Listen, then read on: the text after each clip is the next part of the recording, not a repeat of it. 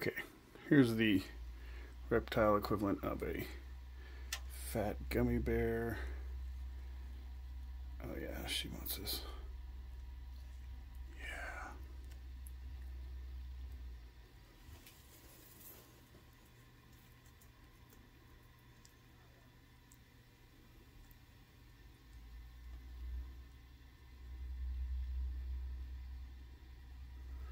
There's a feeding cup right there. She's got a